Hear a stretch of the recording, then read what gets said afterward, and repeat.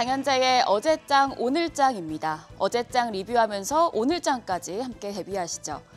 지수가 뚜렷한 방향성을 보이지 않을 때 시장 예측하기가 굉장히 까다롭습니다. 어제 코스피가 오락가락 등락을 반복하다가 소폭 상승하면서 장을 마쳤습니다. 1월 효과, 그러니까 시장 상승이란 목적지는 저기 멀리 있는데 아직 거기까지 가지 못하고 컴컴한 터널을 지나가는 듯한 느낌이에요. 그래서 마감일기 제가 오늘 픽한 키워드는 아직은 터널 속입니다. 지수 먼저 보겠습니다. 코스피 5거래일 연속 상승하면서 2351.31포인트. 어, 상승폭은 좀 미미합니다. 0.05% 강보합으로 간신히 2350선을 지켜냈습니다. 반면에 코스닥 700선을 하루 만에 반납하는 모습이었습니다. 0.74% 하락하면서 마감 지수는 696.05포인트였습니다. 유가증권 시장에서는 개인 투자자들이 차익 실현 매물을 내놓자 외국인과 기관이 받아주는 모습이었는데요. 어, 개인이 2,989억 원 매도 우위를 보였고 외국인이 20억 원 매도 우위 그리고 기관이 2,970억 원 순매수했습니다. 코스닥 시장에서는 외국인과 기관이 매도 우위, 어, 이 일부 개인 종목과 엔터 종목 중심으로 매물이 출회됐는데요. 외국인이 652억 원, 기관이 2,167억 원 순매도를 보였고요. 반면에 개인이 2,894억 원 순매수했습니다. 다시 돌아가서 코스피 그래프를 보면 상승과 하락을 반복하는 패턴이 보였습니다. 한 세 번 정도 하락 전환했다가 장 후반부에 오르는가 했지만 상승폭을 축소하면서 결국에 강보합으로 장을 마쳤죠. 지수가 왜 이렇게 답답한 장세를 보였느냐 이유는 두 가지였습니다. 자, 키워드 보실까요? 첫 번째 키워드는 파월의 입, 그리고 두 번째 중국의 한국인 대상 단기 비자 발급 중단 소식이었습니다. 우선 어젯밤 11시에 나온 제롬 파월 연준 의장의 연설을 앞두고 경계 심리가 유입되면서 상승폭이 좀 줄어드는 모습이었고요. 다음으로 중국이 한국 국민의 단기 비자 발급을 중단하겠다고 밝힌 점도 부담으로 작용했습니다. 주한 중국 대사관이 소셜미디어 위챗 공식 계정에 올린 안내문입니다.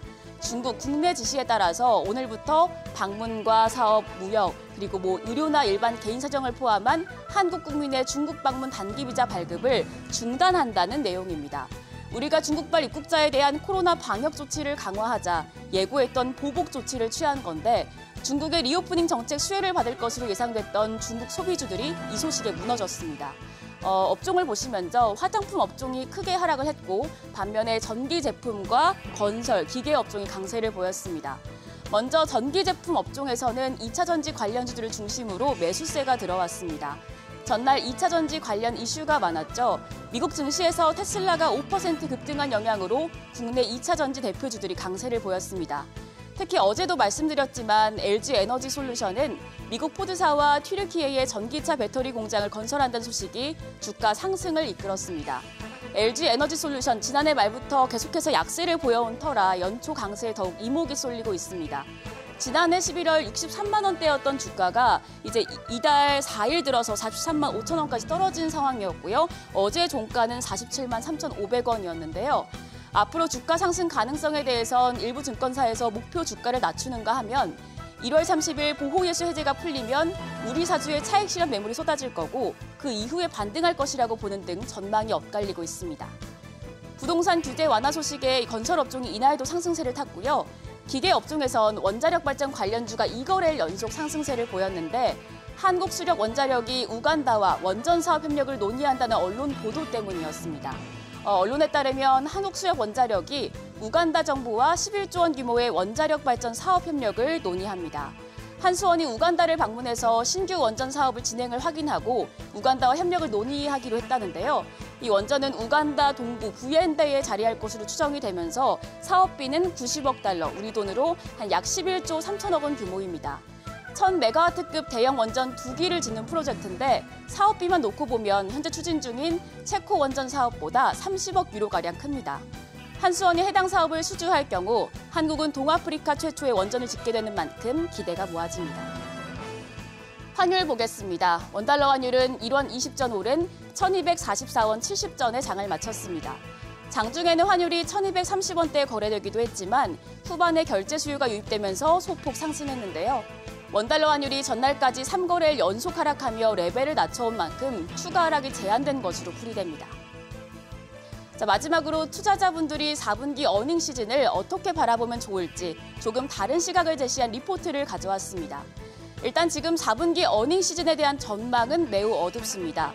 글로벌 경기 침체로 기업들의 실적이 어닝 쇼크 수준을 기록할 것으로 전망되면서 시장 불안감은 그만큼 커지고 있는데요. FN 가이드에 따르면 지난해 4분기에 기업 실적 전망치 컨센서스는 매출이 609조 4천억 원, 그리고 영업이익이 28조 5천억 원으로 집계됐습니다.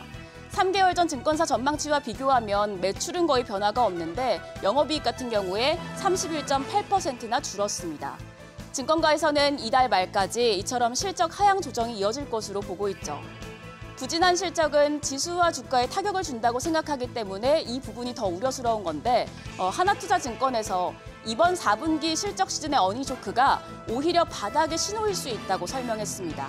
이 리포트에서는 코스피가 어닝 서프라이즈나 어닝 쇼크에 그대로 반응하진 않는다고 분석을 했는데요.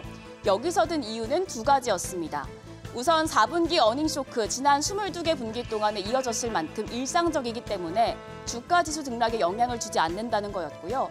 그 다음으론 주식시장이 실적치와 컨센서스의 차이보다는 그 차이의 방향성에 반응하는 것으로 보인다고 했습니다. 다시 말해서 어닝 쇼크여도 쇼크의 강도가 더 강해져야 주가가 내린다는 거예요. 코스피 4분기 영업이익 평균 어닝 쇼크 폭은 마이너스 21.8%입니다.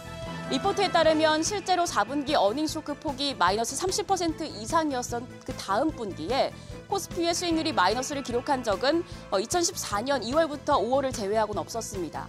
그리고 이때를 포함해도 큰 폭의 어닝 쇼크 이후의 3개월 동안의 코스피 평균 등락률이 8.4%였습니다. 2022년 4분기 어닝 시즌은 2018년 어닝 시즌 때보다 더 부진할 것으로 보입니다. 작년 11월 15일 이후에 올해 1월 9일까지 코스피 누적 수익률이 마이너스 5.2%인데요. 하나투자증권은 큰 폭의 어닝 쇼크 이후 주가가 반등한 경험치를 생각해 볼 때 2,350은 매수하기가 부담스러운 수준은 아니라고 봤습니다. 앞서 삼성전자가 지난해 4분기 어닝 쇼크를 기록했지만 주가는 나흘 연속 올라 6만 원 선을 회복했고 LG전자도 부진한 실적을 내고도 최근 4일 연속 올라서 주가가 한 달여 만에 9만 5천 원 선을 회복했죠. 이 점을 생각해 보면 앞으로 지수 역시 어닝 시즌 이후에 반등할 가능성이 있다고 생각해 볼 수도 있겠는데요. 과연 우리 증시가 어닝 쇼크라는 어두운 터널에서 나와서 이럴 효과를 누릴 수 있을지 앞으로를 지켜보시죠. 그럼 오늘도 국내 증시 개장은 머니쇼와 함께 하세요. 지금까지 어제장 오늘장이었습니다.